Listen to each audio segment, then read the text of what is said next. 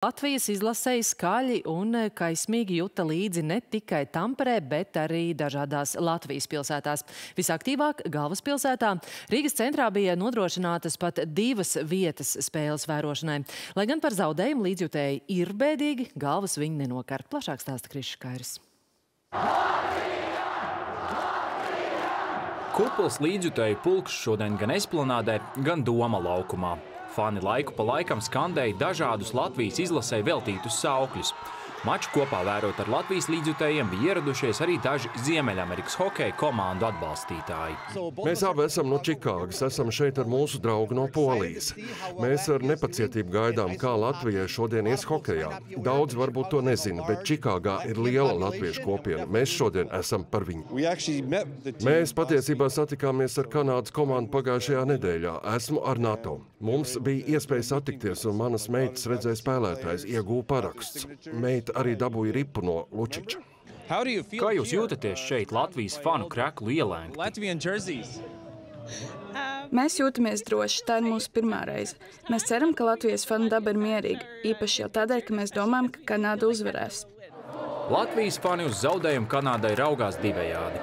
No vienas puses rūgtums par garām laisto iespēju izcīnīt zeltu, bet reizē milzīgs pacelājums un lepnums par izlases puišiem. Tikko zaudējām 2-4, bet jums smaids sejā.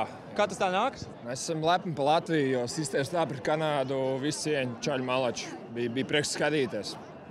Ir tāds lepnums, jebkurā gadījumā iekšā sirdī, lai gan tas 2-4 zaudējums. Protams. Mēs nekad neesam bijuši pusfinālā. Mums ir iespēja cīnīties bronzas, ko mēs vēl varam vēlēties. Jau varējām pacelt, šoreiz jau varējām. Kanāda tomēr, bet nu, spēle, spēle bija fantastiska, emocijas fantastiskas. Džeki nocīnījās, nu, prieks skatīties. Šogad vienkārši vēsturisks gads. Spēle skaista, bijām vadībā, neko pielikt, atņemt.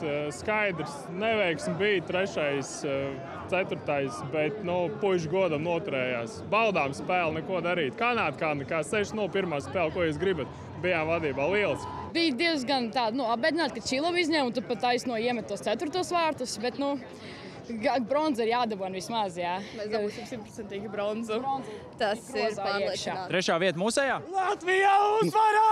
Jā! Stabili. Trešo dabūsim. Ko mēs gaidām tajā bronzas spēlē? Vāciešus vai amerikāņus? Vācieši. Protams, ka vācieši. Vācieši būs vieglāks pretinieks, es domāju. Bet, ja būs vācieši pretinieks, domāju, iespējas ir. Ja amerikāņi?